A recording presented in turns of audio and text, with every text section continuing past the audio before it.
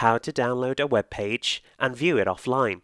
The first thing you'll need to do is open up your browser and then navigate to the web page that you'd like to save. The web page that I'll be saving today is www.tesla.com slash cybertruck.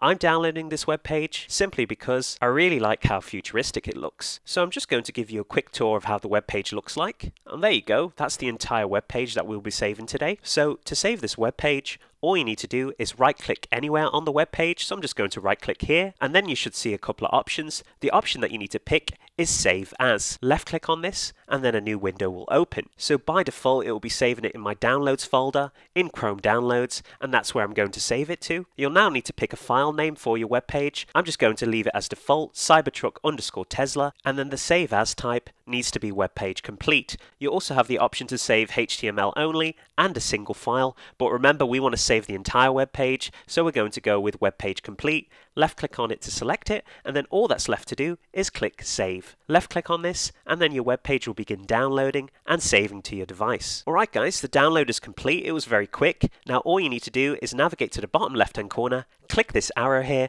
and then click show in folder to view the website files you just downloaded. So as you can see, we have a HTML file here and all the files that make up the web page. So I'm just going to double click on this. Let me just click on this thumbnail button here just to show you what it looks like. So as you can see, there we go, we've got all the images, etc. So to view it, all you need to do is actually double click on this HTML document. But just to prove to you that it actually is viewable offline, I'm going to disconnect my internet real quick. So I'm just going to navigate to the bottom right hand corner. I'm going to left click on my Wi-Fi symbol here, and then I'm going to click on disconnect. There we go guys, we're not currently connected to any network now, and now let's attempt to view our web page offline. So I'm just going to double click on the HTML document here.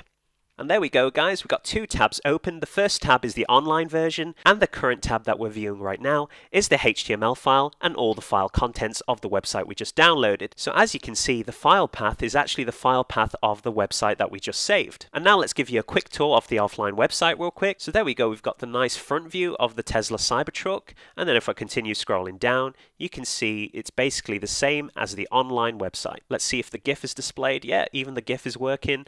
Alright guys, that just proves to you that this method does work. Thank you very much for watching. If you enjoyed this video, be sure to give it a like, comment down below, and most importantly of all, subscribe to support the channel. I'll see you on the next video, guys.